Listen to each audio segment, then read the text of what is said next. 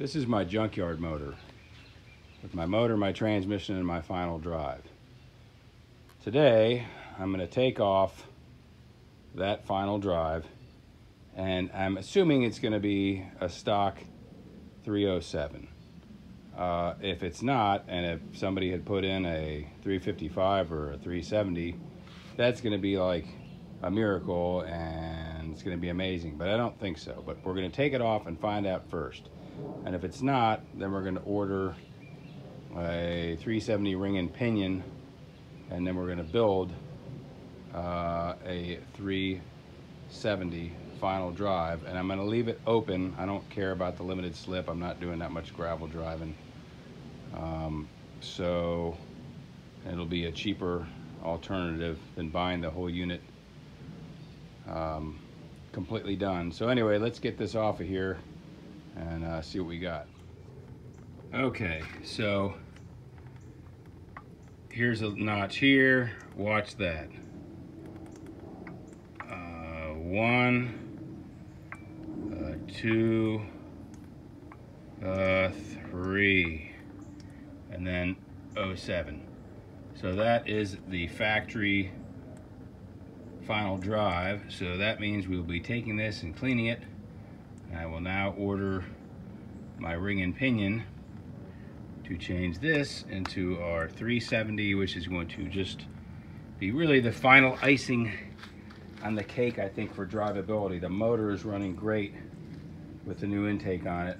So, uh, okay, so anyway, we've got it done. One thing I want to note is that there's one, when you're taking these bolts out, there's one, uh, I, guess that's a stud in there, but anyway, this is a pain to get to, but there's a, a nut on this side. So then when you remount it, um, you'll be able to use that to sort of line things up.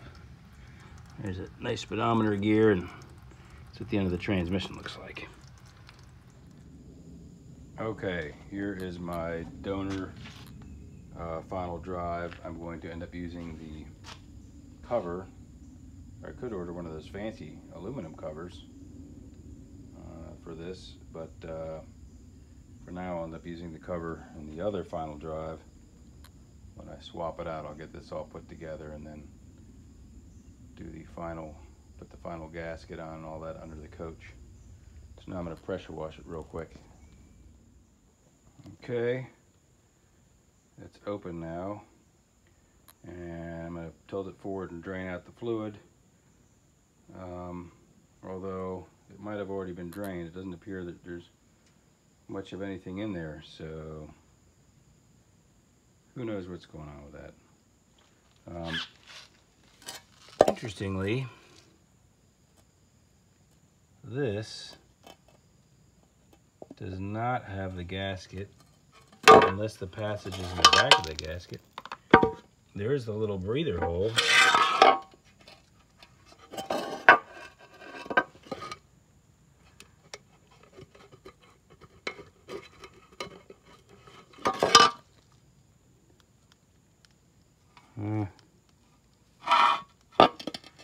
See that was uh, venting.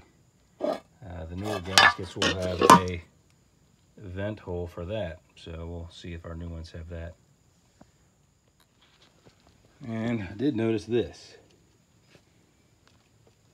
There's a little bit of slop in here.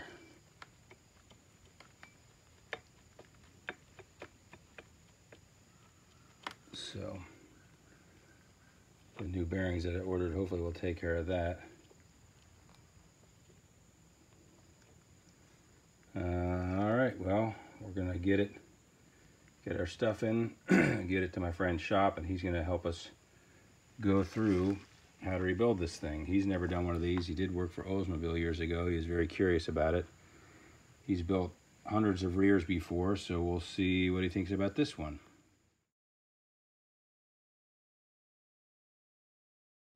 Okay. So we've got in here our ring gear and the whole uh, pinion and our bearings. from applied. So let's go take this, let's go see if we can rebuild this final drive, see what it's all about. Side, Hold on. Yep, and that side, one dot, one dot, and then we put two dots here and two dots two here. dots there. So we know that these basically are gonna come off and go back in the same They same have place. to go to the same side you took them off. Okay. So we took this uh, 9 16 bolt out. This just slides right out of there.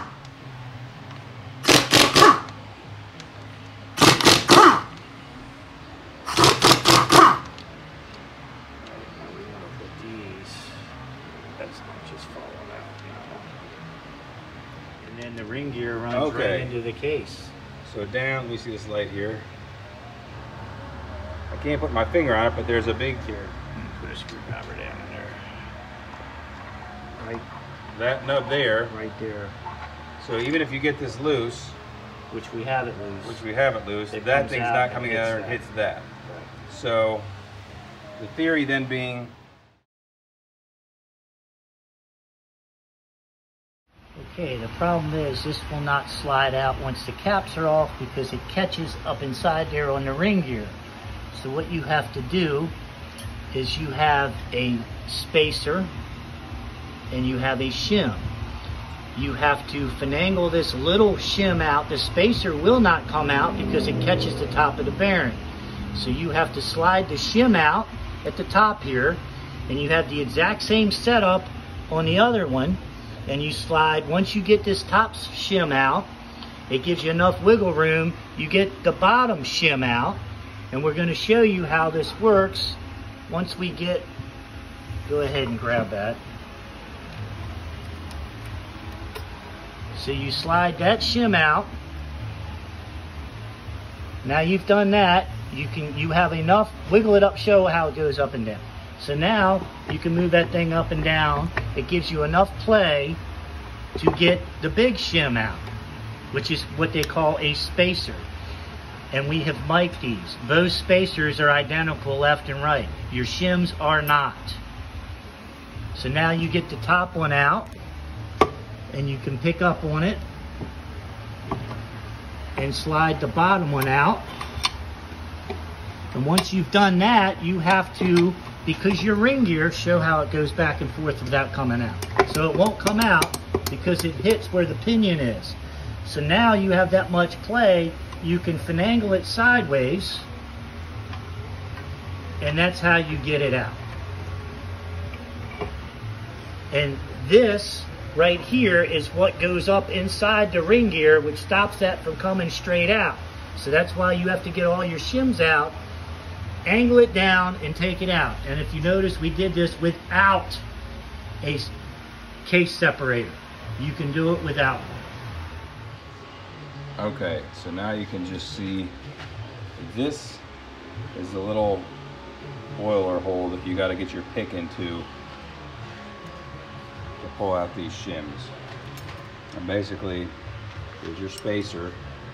That's hitting that, so that'll never slide out. But the shim will slide. You, you just need to use your pick to get enough out to where you can grab it and pull it. So that's what's happening there. Two spacers and two shims are what's in this unit. One's a little thicker than the other. You can actually even see it with your own eyeballs. So now we've started, you can see with a punch, we're tapping this plate out from the inside. We've got a little gap there and we're gonna pull this out, see what's up with that. Okay, the ring gear comes off, just tapping around the edges with a hammer and a large punch so you're not making little holes in this thing. But at uh, a couple good whacks as we spin it, and that comes off no problem, so that's that. All right, so we're gonna finish knocking this thing out.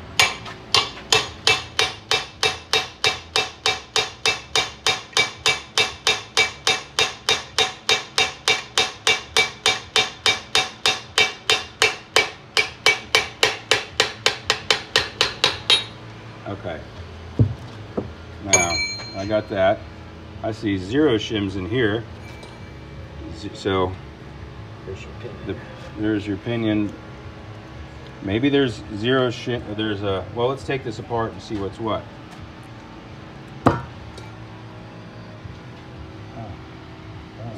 Anything in there? Nope. All right so it looks like there's no shims in here, and it may be that the pinion just sits where it sits. Well, you got. I don't We'll- know we'll see. Okay, so in here, there's this little thing here that maybe is for prevent some sort of uh, foaming or no cavitation of the oil because that's an oiling hole. But until I hear differently, we're gonna put that back in there. There's the O-ring for that that goes around there, and then there's an O-ring that goes around here that we'll just reuse because it seems like it's in good enough shape. And we'll get the rest of that gasket off. This hole gives you just enough clearance to knock out the race, the front race. Okay, so this here goes into that there, which then in turn comes out there. There's a little hole. Hold on. Let's see here. There's that hole, which then there's two seals that go in here opposite of one another, and it goes in between the two seals. So I guess the point is, is that if if uh, differential fluid goes this way or transmission fluid goes this way, they go out of here and drain out of there and don't mix. That's the best we can figure what that setup's for. Since we know how to do this. Getting bearings off. We're also cleaning stuff in parts washer. I can't really film while I'm cleaning, but this is another part of the process, cleaning in parts washer.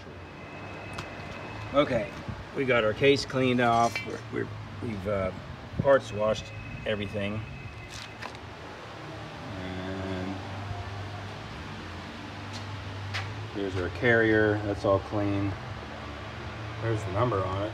I'm not gonna get super intense on these gears in here. I know they're a little dirty, but I'm not taking that apart. That's fine. So, so that's that. Now we gotta get the bearings off of the pinion gear. And the reason is, is because I need that spacer there and that spacer there. Okay. So there's no shim on this side. So this side of your pinion gear does not need to come off unless you can see a shim, but you can see on the back of here, there's the number, so there's nothing stuck to that, and there's nothing stuck to that machine surface. So you only have a front shim, and that's all that needs to come off. So you can reuse this front shim, which by the way, it's kind of loose, but I guess you line it up with your bearing when you tap it on. So that's how they're doing that. And so the preload is only controlled by this front shim and then this shim sits in the back of here. So hopefully when they design the pinion gear, they were smart enough to set it up so that it's gonna go back in there the way this one came out using these ex existing shims. The only thing we'll need to shim then for lash is gonna be our carrier. And we're gonna find out. Because once you put that shim in there, I mean, you gotta press the bearing on here on the new one and on here. So it's not like you can keep taking this in and out and adjusting it. So we're gonna go with how we found it. Cross our fingers.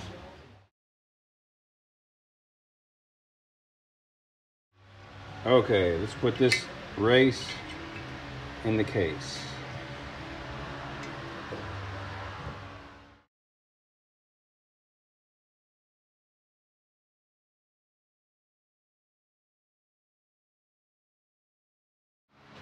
Okay, so for the pinion bearing the backside, we still have our shim, which is right there. So we've got that shim there, and we've got this shim here on the front of this, and that's what basically sets our preload. And there's really only doing it once, so we're just gonna go with what was in there.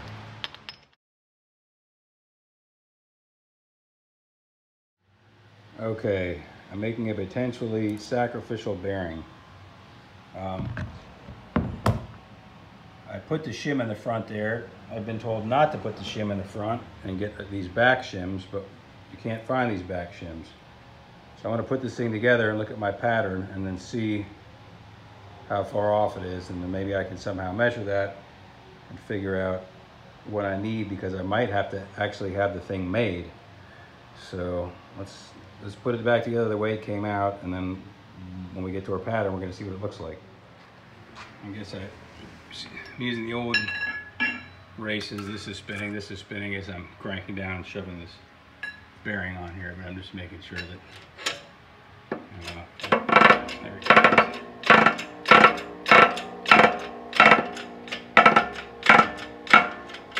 That's that, okay. Okay, we put our O-ring here and our little cleanup doohickey right there, or whatever that thing is. When we put this cover on, we need to make sure that hole there lines up with that there. And that hole there comes out here and goes in between our two seals. Uh, and this prevents anything that gets by the seal from mixing uh, either gear oil or transmission fluid. We don't want them in the transmission or the differential where they not don't belong.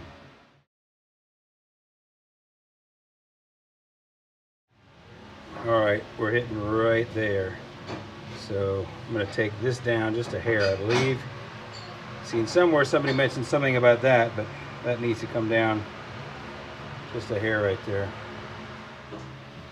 All right, we're gonna try this again. I have to keep taking material off here so the gear can get around that. And there's plenty of material to take off, but probably taking off maybe close to an eighth of an inch. It is recommended that you do this process before you put your pinion in there because we have to stuff towels in here and vacuum this out really good. And anyway, let's see if it goes in. This will be the third attempt. All right, I'm gonna take everything off up to the bevel. We've got from bevel to there that's still holding it in there, that's plenty.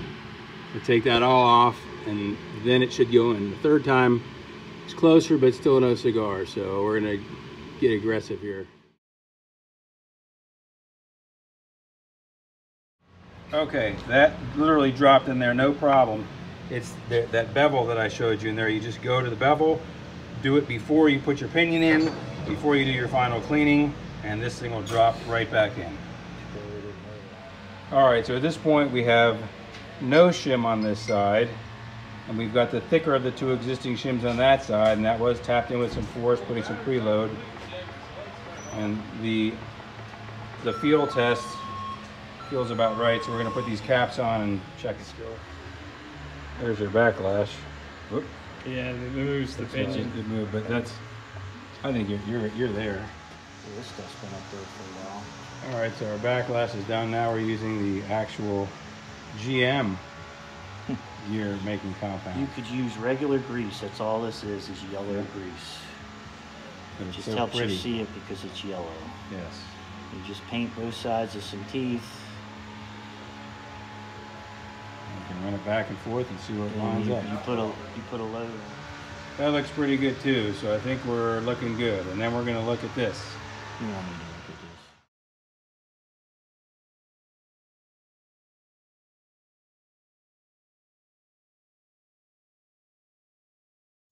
Okay, all home and next step is to install it, put our new aluminum cover on there. So again, the pinion, I put it in the way it came out. I used the same existing shims. Um, I removed the one shim from this side and put the larger of the two shims, excuse me, the smaller of the two shims on that side. And everything ended up setting up perfectly. Now, I'm using the original open rear and maybe with the posi um, it's a little trickier. But with this setup the um, the pattern was just uh, right where it needs to be. And uh, the backlash is right where it needs to be so maybe I just got lucky. But uh, there we go. So the uh, uh, the review of its performance uh, will be the next one. I want to thank uh, Larry and Chip and Brandon from Knollwood Automotive in Dayton, Maryland for helping me get this first one together. Um, if this one lasts for a while and looks like it's working good, I'll take my other one and build another one of these and maybe that'll be for sale. Uh, we can do a core exchange kind of deal. Um, I'd like to do it again and see if it works out exactly the same. So thanks for watching, and we'll see you next time.